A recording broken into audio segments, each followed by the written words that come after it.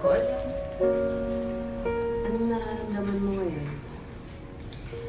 Ewan ko. Bianca, kailangan natin mag-usap para mapadali ang paghahanap sa mga kaibigan mo. Kailangan mo sabihin sa akin yung nangyari nung gabi mo. Gusto ko na umalis. Gusto ko na matulog. Bigyan mo ko ng sleeping pills. Ano kailangan ko? Bakit nahihirapan ka pa rin bang matulog? Paano ako makakatulog? Pa rin sila. Gusto pa rin nila akong... Ano? Anong gusto nilang gawin sa'yo? Wala. Bianca, kailangan mo sabihin sa akin lahat na nangyari ng gabi yun. Alam mo naman na lahat ng impormasyong ibibigay mo sa akin ay napaka-confidential. Hindi ito makakalabas kahit kanino. Kaya kailangan ko kooperasyon mo.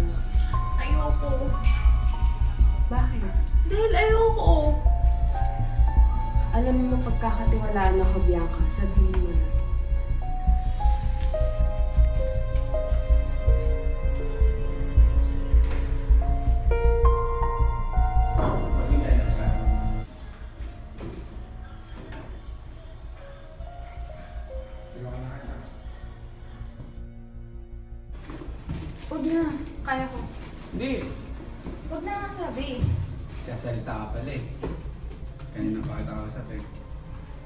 Lumayo ka sa akin.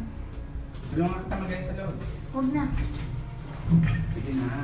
Huwag na nga sabi! Sige na, uy.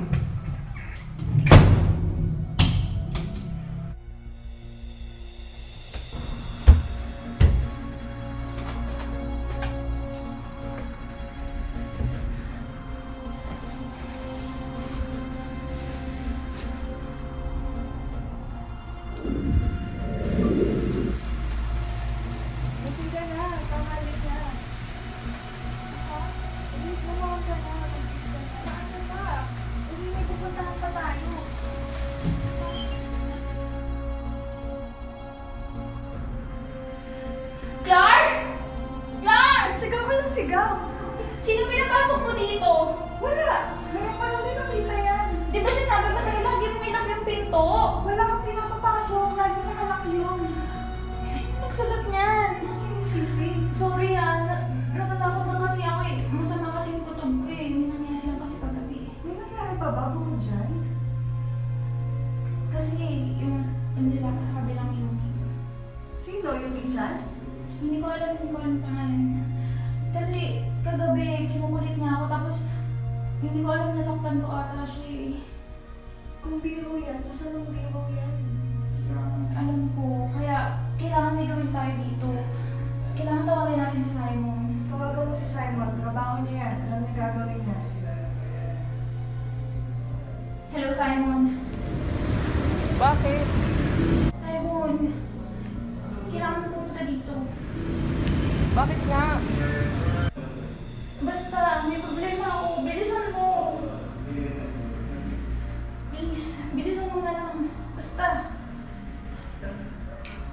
Oh, bakit? Ano problema? Simon! Teka, ano yan? Kailan ba yan? Hindi ko alam. Kanina, pagkagising ko, nandiyan na yan. Sabi mo natatakot ako, hindi ko alam kung ano gagawin ko. Feeling ko may babanta sa buhay ko. Ganito, kuminango ka muna. Kailangan kasi muna imbestigahan tong apartment yung baka meron pang mga ebidensya na nakakalat eh. Sa ngayon, pumunta ka muna sa ligtas na lugar, ha? Okay. Teka, teka. Hello? Yes, Chief. Sige, sige. Sandali. Pagbiya ka, sandali lang ha. Babalikan kita. Saan ka pupunta? Delikado kung mag-isa lang ako. Babalik din ako agad. May emergency lang sa office. Please, bumalik ka agad. O sige. Okay. At saan ka nagpunta nung umalis si Simon?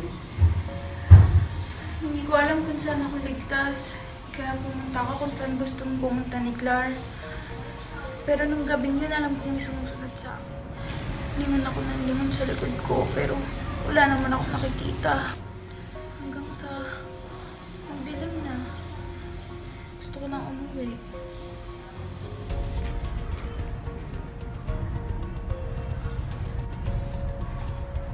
Ay, baby, kanina pa kita hinihintay.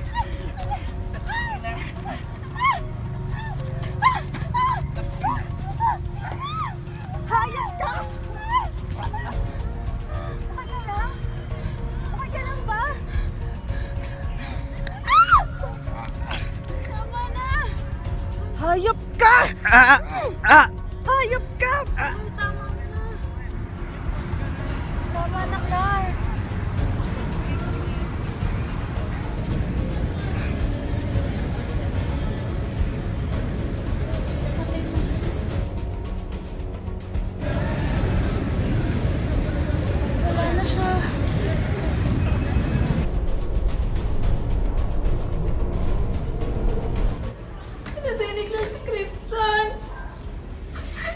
Sinak sinaktan niya lang ako para iligtas yung sarili niya. Huwag niyo na siya hanapin. Wala na siya. Patag na siyang wala.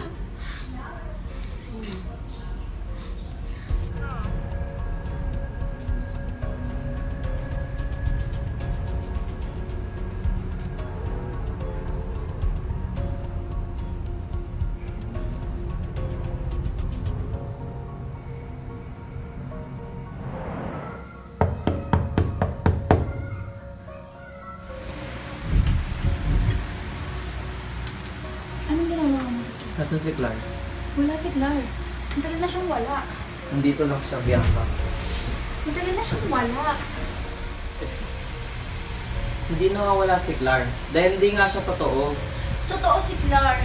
Kasama ko siya nung nakita ko yun sa CR. Nung pinatay niya si, si Christian. Nung nirape ako ni Christian. Ikaw ang pumatay kay Christian. Ah! Ah! Walang record na nag exist siya, Bianca. Hinuluglog namin ang buong apartment mo at tanging DNA mo lang ang nakita namin. At nung gabi pinatay mo si Christian, marami ding ang nakakita sa'yo. Ikaw din ang pumukpok sa sarili mo. Si Clark? Gawa-gawa mo lang yung sa isip mo eh. Para matakasan mo lang yung kaso mo. Hindi yan totoo. Sandali. Anong oras na? Pupunta na sila dito. Sino? Sumama ka na lang. Ayoko. Sumama ka lang hanggang hindi pa ulit. Ayoko. Sumama ka lang. Sumama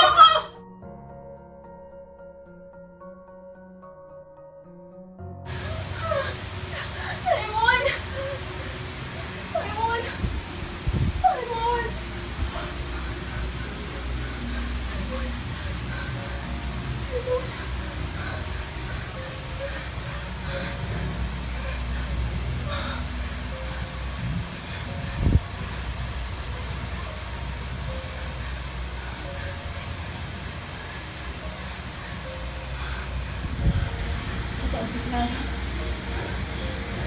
hindi ako po matigigising sana. Ako po patay sa mga na.